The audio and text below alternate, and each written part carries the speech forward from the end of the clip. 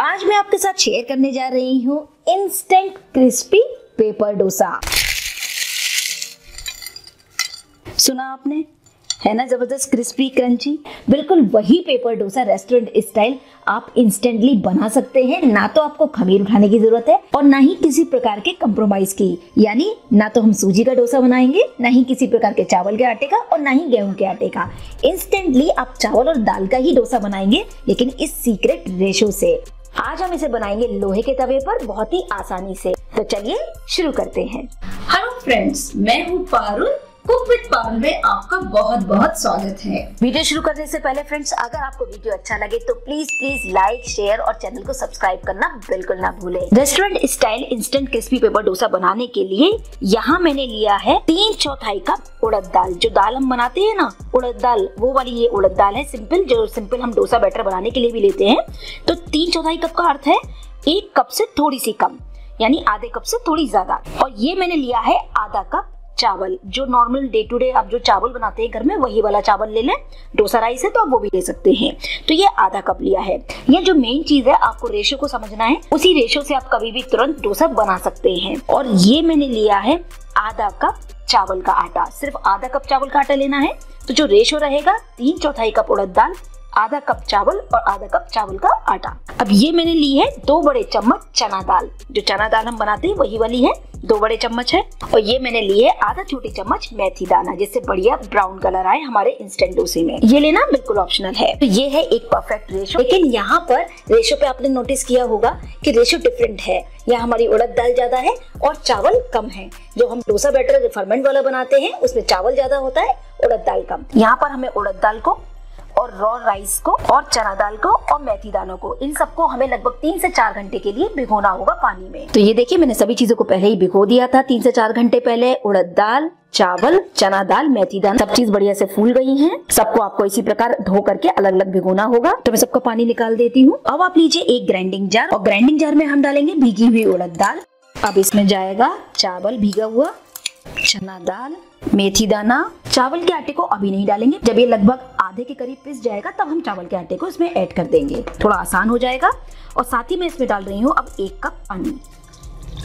इसको अच्छे से पीस करके इसका एकदम स्मूथ बैटर तैयार कर लेंगे। और ये देखिए, अभी मैंने सिर्फ़ इसको दरदरा से ही पीसा है। इस स्टेज पर मैं इसमें ऐड करूँगी चावल का आटा और इसे वापस से स्मूथ पीस लेंगे। और ये देखिए, मैंने अच्छी तरीके से बैटर को पीस लिया है और बिल्कुल फाइन बैटर हमारा तैयार हुआ है। पानी की मात्रा आप ये देख लें कि थिक कंसिस्टेंसी का ही हमें बैटर तैयार करना है। अगर आपको कम लगे पानी की मात्रा तो थोड़ी और बढ़ा लें। इतना तैयार करने में मेरा एक कप के करीब पानी लगा है। और ये देखिए बैटर है हमारा, बिल्कुल रेडी कुछ इस प्रकार की कंसिस्टेंसी रिविन की तरह देखिए, गिर रहा है।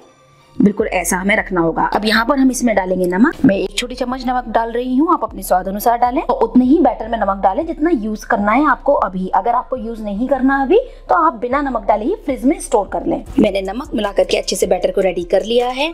सच मानिए, जब आप ये डोसा बनाएँगे तो ना ही इसके टेक्स्चर से और ना ही खाकर। कोई बता ही नहीं पाएगा कि ये आपने बिना फर्मेंट किए डोसा बनाया है। तो आज मैं ये पेपर डोसा बना रही हूँ। मेयर्स के बहुत ही बढ़िया high durability cast iron flat तवे पर, जो है hundred percent pure iron ore से बना हुआ और 100 परसेंट ही toxin free product. No chemicals no toxin no synthetic coating इस पर हमें मिलती है लाइफ टाइम वारंटी बहुत ही थिक हैवी बॉडी का बनाया हुआ है, जिसकी वजह से इवन हीट स्प्रेड होती है। और जब भी आप इस पर फिर पराठा, रोटी, उत्पम, डोसा कुछ भी बनाते हैं तो बहुत ही बढ़िया गोल्डन कलर में बनता है। एकदम बढ़िया तरीके से कुक होता है और हैवी बेस होने की वजह से ये हीट को डिटेन करता है लंबे समय तक। तो इससे आपकी गैस भी बचती है। और जो डोसे बनते हैं, बहुत ही क्रिस्पी और गोल्डन कलर के साथ जैसे आप मार्केट में देखते हैं। खास बात इस कास्ट आयरन तवे की ये है कि ये प्री सीज़न है। No lead no chemical no cadmium hundred percent safe है हमारी हेल्थ के लिए। तो लीजिए अब आपकी कास्ट आयरन तवे के बारे में जो भी आप पूछते थे कि कौन सा लेना चाहिए,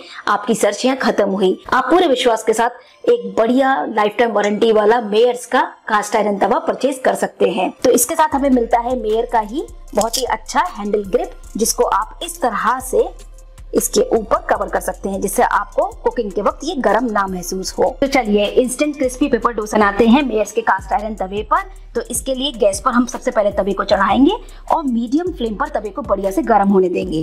प्री सीज़न होने की वजह से ये बिल्कुल नॉन स्टिक जैसा काम करता है। इसमें हल्की हीट आ रही है। इस स्टेज पर आप डालें इसमें थोड़ा सा ऑयल एक किचन टॉवेल या कॉटन कपड़े से हम इसे पोष देंगे।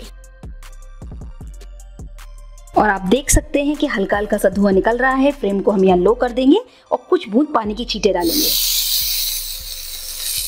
तो सुना आपने, आपको एक इसमें साउंड सुनाई दी। बिल्कुल ऐसी स्टेज तक हमें तवे को गर्म करना है। अब आप फ्लेम को थोड़ा लो कर दें और एक बार और हम किचन टॉवल से पोछ लेंगे।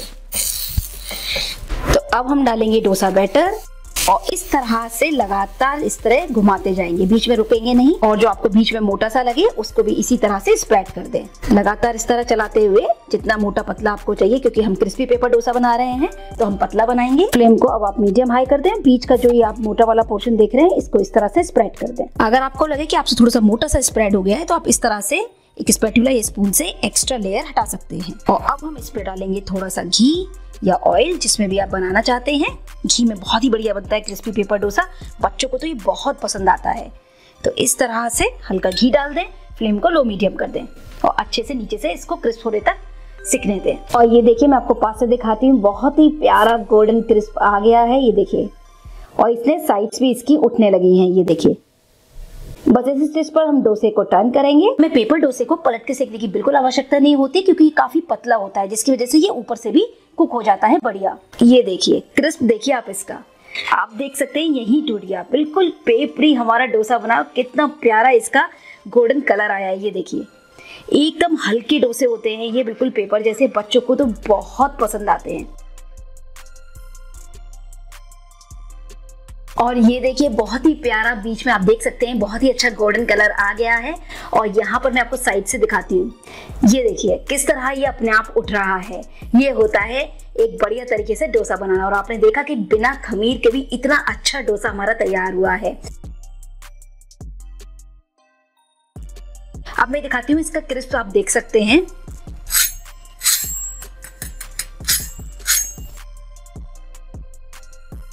तो ये लीजिए। बिल्कुल तैयार है हमारे नो फर्मेंटेशन वाले instant crispy paper dosa restaurant style अब मैं आपको इसका क्रिस्प दिखाती हूँ। सुना आपने?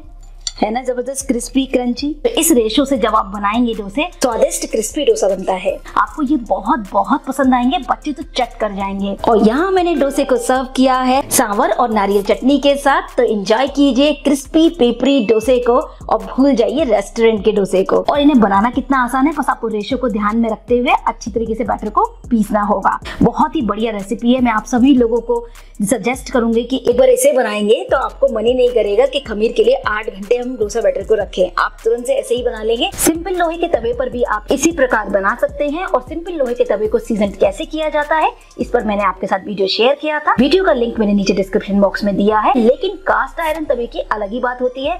बहुत ही इवन कलर आता है। हैवी बेस होने की वजह से बहुत बढ़िया कुक होता है। एकदम क्रिस्प उसमें निकल कर आता है। मैं रिकमेंड करूँगी, अगर आप कास्ट आयरन तवा परचेज करने की सोच रहे हैं तो आप मेयर्स के कास्ट आयरन फ्लैट तवे को ले सकते हैं। ऑनलाइन परचेज करने का लिंक मैंने नीचे डिस्क्रिप्शन बॉक्स में दिया है। आप इसे ऑनलाइन भी परचेज कर सकते हैं। और अभी आपको इस पर मिल सकता है बहुत ही अच्छा डिस्काउंट आप अप्लाई कीजिए code P A R U L one five यानी पारुल फिफ्टीन आप ये कूपन कोड यूज़ करें और उठाएँ पंद्रह परसेंट डिस्काउंट का फ़ायदा।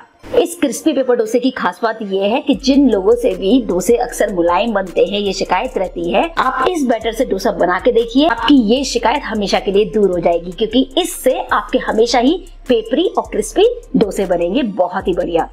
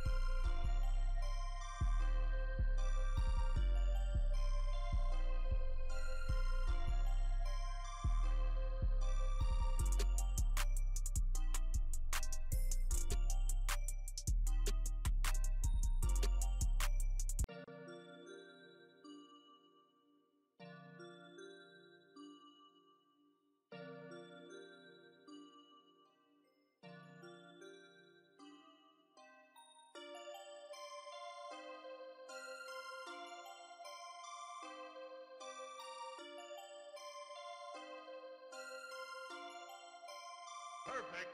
Perfect.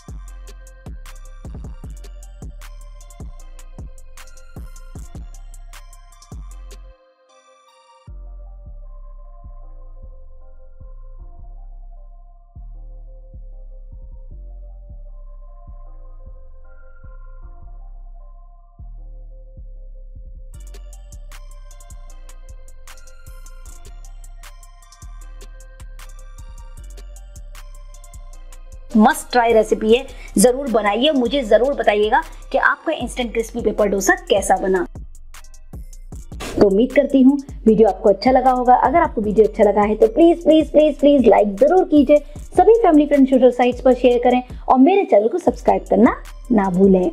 और इसी तरह आप मेरे साथ टिकटॉक इंस्टाग्राम और फेसबुक पर भी ज़रूर जुड़े। सभी रेसिपीज़ की डिटेल्स आप मेरी वेबसाइट कुक विद पर देख सकते हैं। Thank you for watching cook with Parul जय हिंद जय भारत।